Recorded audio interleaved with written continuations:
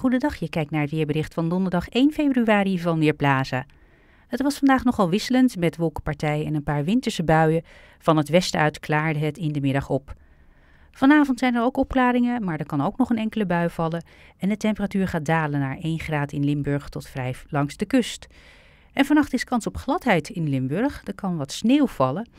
Elders vallen er ook nog een paar buien.